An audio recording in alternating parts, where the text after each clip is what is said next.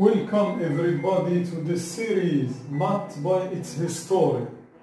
In this fourth episode, we will talk about a way, a geometrical way, following Newton and Leibniz to find the derivative of functions such as arctangent and arcsine, the reciprocal function of tangent and sine. Here in this square, if x increases, say delta x, delta x is this little, then the area of this square y equals x squared increases say the increment of the area will denoted by delta y and delta y will be this and this and the third part is this small square. So we will have the delta y equals 2x delta x plus delta x all square. From this equality we obtain equals 2x plus this quantity might be neglected which allow Newton to note that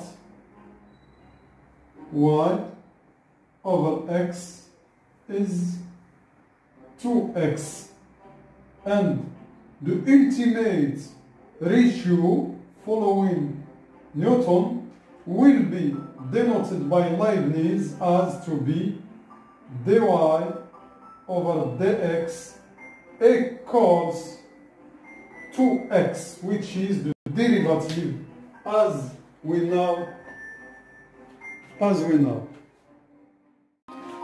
Observe that in this circle of radius 1 and this is a tangent to a circle at this point. Now x is the length of this segment and y will be this arc of circle.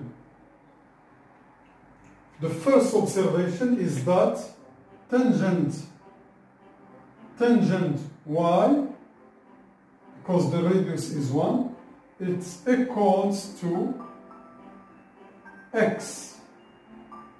And so from here one can find y in terms of x. Y will be which will not by arctangent x it is bijective in this case.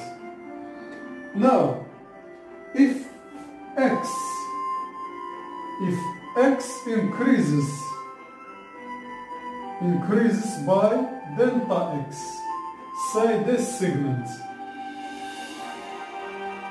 then y will increases also by which will denoted by this arc here, delta 1, this arc. And our objective is to find how to explicit the ultimate ratio delta y over delta x. This is our problem. using geometry in, clever, in a clever way leads Newton to discover analysis. In this situation, we have by Pythagoras theorem that OD, this length equals square root of x squared plus 1. Using the fact that the two triangles OBC is similar to triangle ODE, one find that BC over delta x will be equals to 1 over square root of x squared plus 1. In other, in other words, BC is equals to delta x. Denote this equality by 1. Now, the more relevant step for Newton that involves geometry and analysis is to prove that the two triangles BCF, the small one, and the right triangle OBG are similar. In fact, observe that this angle is the same as here and its opposite okay and they have right angle and as delta y is infinitely small we can consider that this angle is right. Okay. And in other part we can also consider that this angle is the same as here for the, the same reason such uh, knowing that B and F are the same point when delta y is infinitely small. Then now as a consequence of this lemma, one of obtain BC over OB which equals 1 is equals to BF over OG. But this length it's equals to 1 over square plus 1. The two triangles here are similar.